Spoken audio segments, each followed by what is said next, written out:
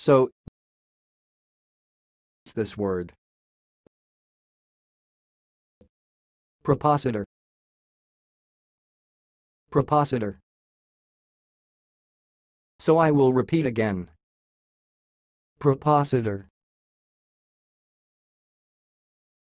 Praepositor.